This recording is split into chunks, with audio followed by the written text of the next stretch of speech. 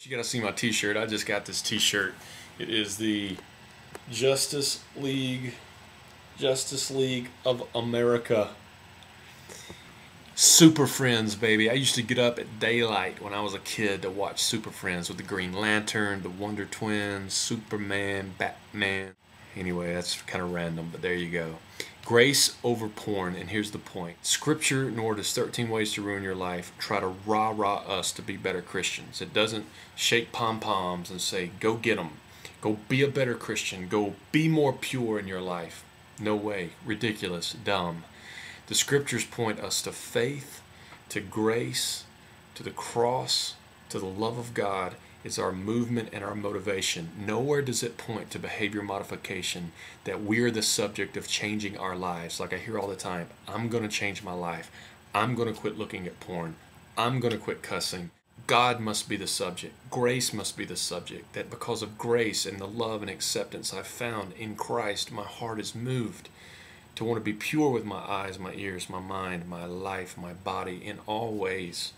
I love what Paul says in Romans chapter 12. He says, In view of God's mercy, offer your bodies as living sacrifices, holy and pleasing to God, for this is your spiritual act of worship.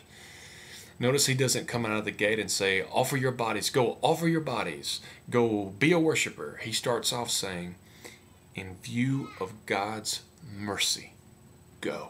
So what do we do? We keep our eyes on the mercies of God, on the grace of God, on the cross of Jesus Christ, the gospel.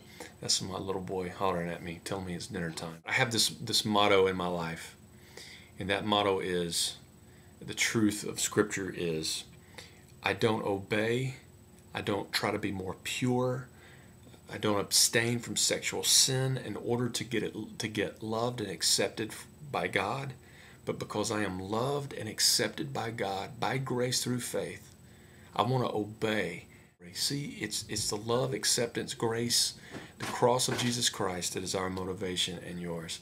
Man, I hope that helps you. So where are you trying to modify your behavior? Where are you trying to change your life as in you, the subject?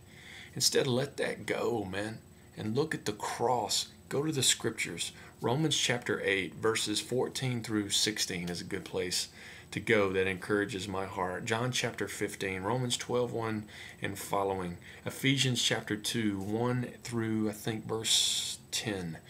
Read those texts and let them just marinate your soul. All right? Hope you'll tune back in in a couple of days, and I hope this is encouraging you somehow to live for Jesus, for His glory, and for your good.